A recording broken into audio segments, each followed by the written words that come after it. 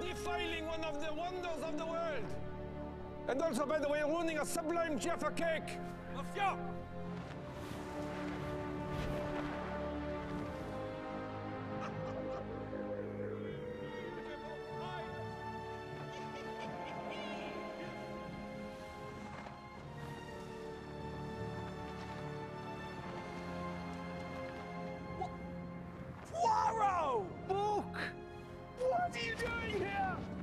What do you think about my kite?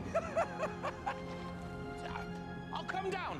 Stay there. Be careful! Of all the pyramids in all the world, you had to walk up to mine. what a small world. Mon ami Bouc.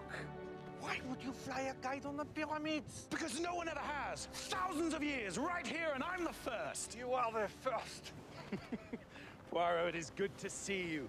Are you on an exotic holiday or an exotic case? Cases I am in hiding from cases. Well, if you want to hide, come and hide with us.